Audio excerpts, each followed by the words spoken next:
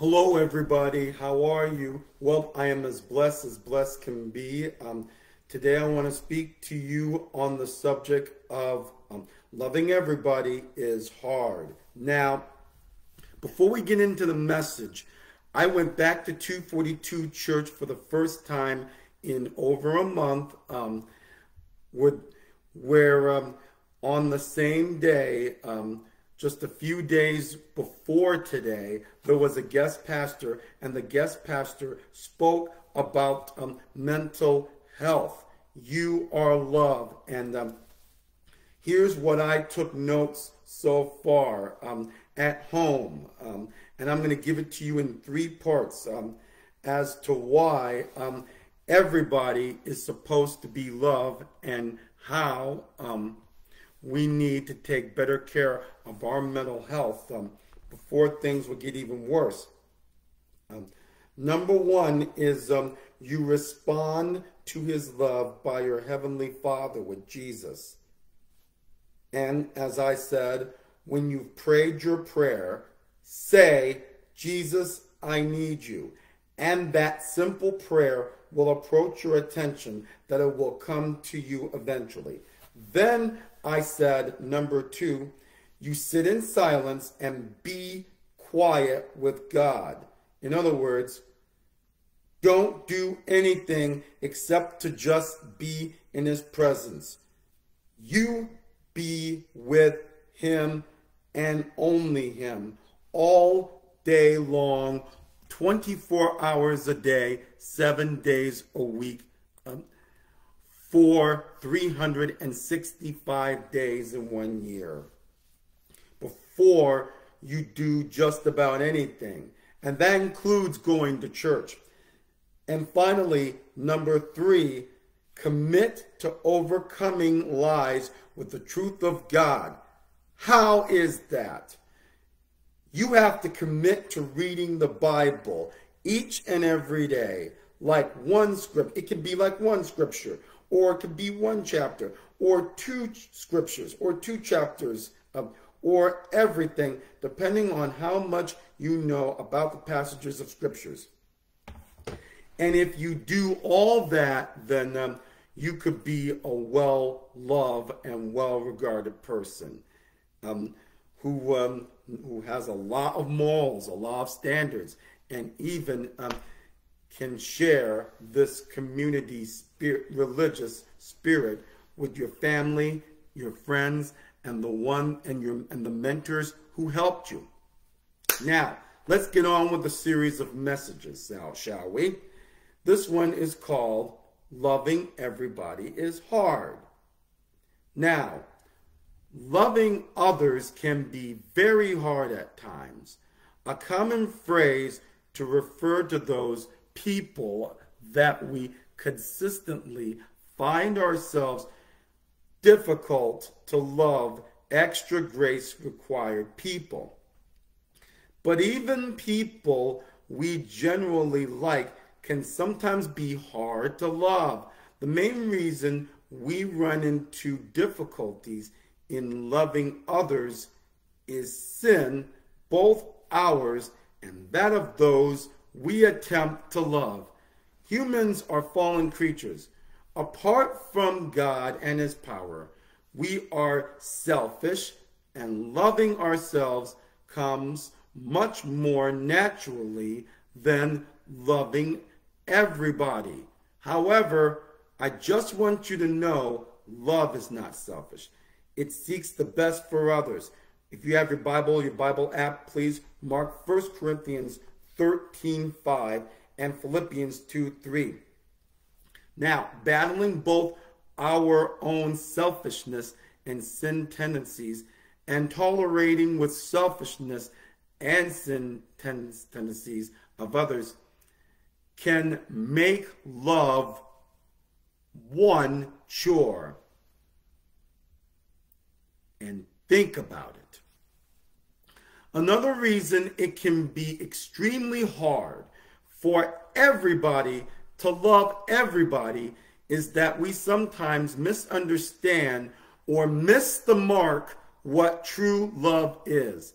We tend to think of love as primarily emotional response when love in itself is not a feeling. The problem is that we cannot always control our emotions, um, especially to those um, guys um, who cannot control um, their own wives the same way wives can't control their own um, husbands in that way. However, we can certainly control what we do because of the emotions, but too often the emotions themselves just happen. When the kind of love God calls us to have for others is the same kind that he of love that he has for us. It's agape love, the, the, the essence of which is sacrifice. God's love for all of us is a sacrificial love, the kind that sent him to the cross for our sins. He didn't save us because we were lovable. No, he saved us because he his love caused him to sacrifice himself for us. The question is do we love everybody enough to sacrifice himself for everybody? Another question is do we love everybody enough to sacrifice for them, especially when at times they are not lovable? Loving others is, a, is all about the will and the volition and the volition, not the emotions. Now God died uh, for all of us at our worst, in the midst of our sin, when we're totally unlovable. Please mark Romans 5 8 and John 15 13. When we make sacrifices in order to love somebody, we get a glimpse of the depths of God's love for everybody and we also reflect him to the world. Now, if you go to John 13, 34, 35, Jesus told his disciples, A new command I give you love one another. As I love you, so you must love one another. By this, all men will know that you are my disciples if you love one another. Now, Notice, now I want you to notice he did not say feeling love toward one another when he did say love one he didn't say that but but when he did say love one another he said that in fact he commanded an action not a feeling like i have told you from the very beginning now part of the difficulty of loving everybody is that we often try to do it on our own, whipping up feelings of love where none exist. This can lead to hypocrisy and play acting the part of the loving person when our hearts are really cold towards him or her. We must understand that we cannot live, that we cannot love apart from God. That's not the reason at all. The reason is when we remain in Jesus. John 15.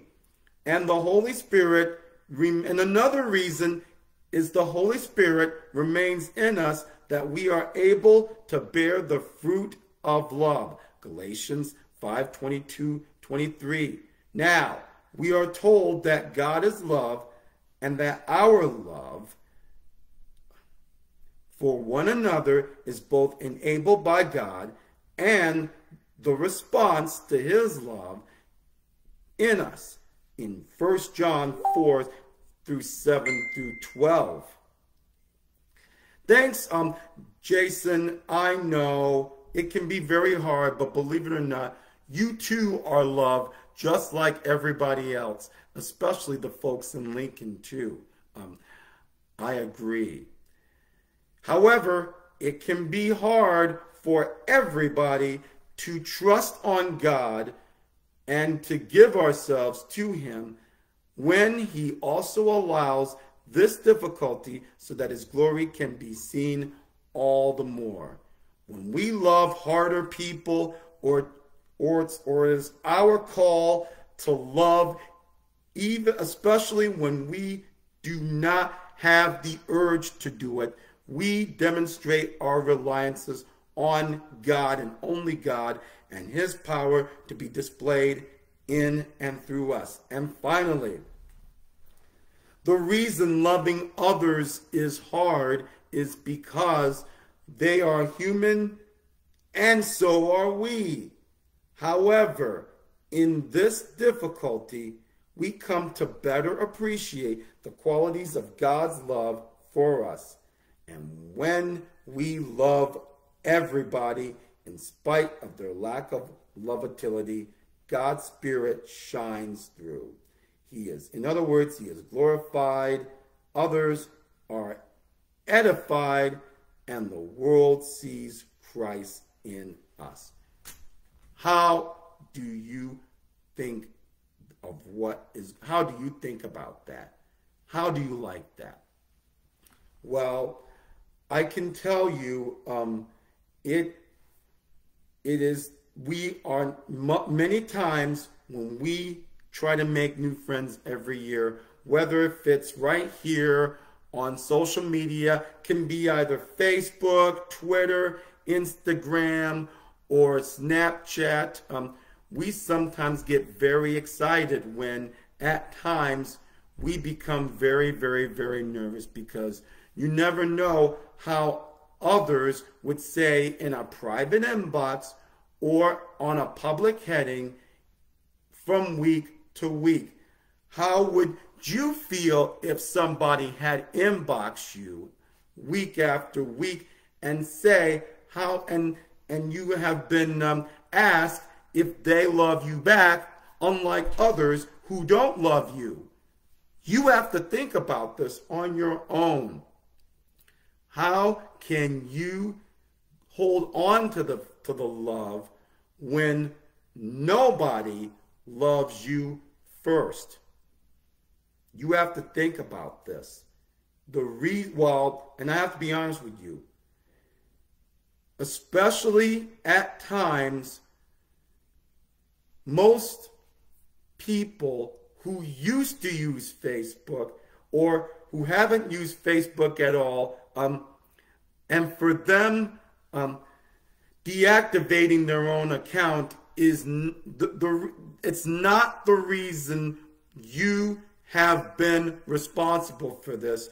You're not the reason at all because um, you either have said something that was um, absolutely bad or um, you have um, been um, lying or you're telling the truth. Um, or you just gossiped or tamed the volcano um, and stuff like that. No, no, no, no, no. That's not the reason at all, and far from it. The reason um, these people have deactivated their own Facebook is because they get sick and tired of all the drama that has been going on themselves and everybody else. Uh, as to what they have been talking about on the same subject over and over and over again that is in that appears in the news of what's going on right here that nobody should ever have to hear. I don't care how these folks would ever ever say it. I don't care how anybody um, would uh, try to uh, throw you under the bus or you or they would ask you to throw your throw in the towel. No, no, no. Those are not the reasons why. The real reason is um, you are always loved. You are the most valuable, yet most wonderful, yet beloved person on not just on social media, but everywhere. Could, could, could be with your family, could be with your friends. or it could be with your church and in the community. Regardless as to what people say about you or how they deactivate their own Facebook accounts, you are still the most loved person.